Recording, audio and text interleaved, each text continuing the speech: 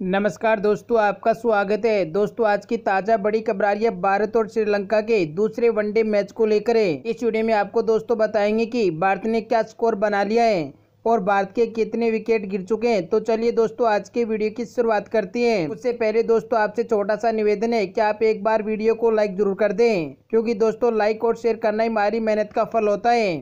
श्रीलंका ने पहले बल्लेबाजी करते हुए नौ विकेट के नुकसान पर दो सौ पचहत्तर रन बनाए।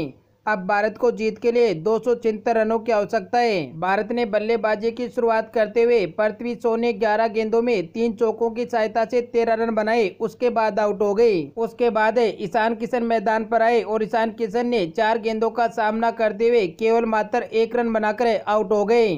शेखर धवन और मनीष पांडे बल्लेबाजी कर रहे हैं। शेखर धवन बाईस गेंदों का सामना करते हुए तेईस रन लगा चुके हैं।